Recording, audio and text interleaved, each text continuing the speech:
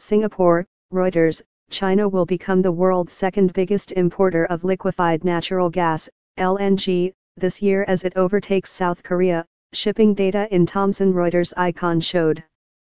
This is a huge boost to Asia's emerging spot market as Chinese buyers rely much more on short-term purchases to meet their needs than their counterparts in Japan and South Korea.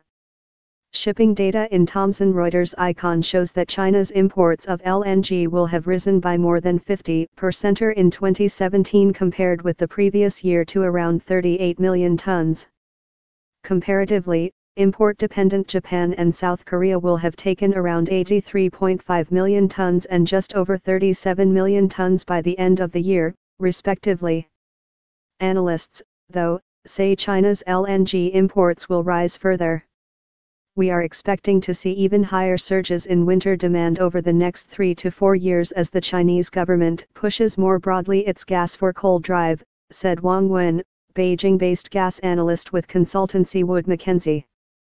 China's soaring LNG import demand is a result of a huge government gasification program that saw millions of households switch from using coal for household heating this year to natural gas. Beyond virtually doubling Asian spot LNG prices since June to 11 US dollars and 20 cents per million British thermal units, millimeter BTU, their highest since November 2014, China's rapid growth in purchases also changed the structure of the market. Despite efforts to change the market, LNG trading has remained dominated by long-term contracts under which fixed monthly volumes are supplied at prices linked to the oil market, although within certain prices ranges.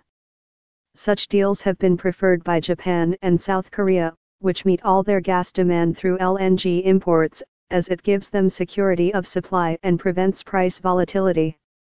China is different it has significant domestic natural gas reserves and also brings in supplies via pipeline from Central Asia.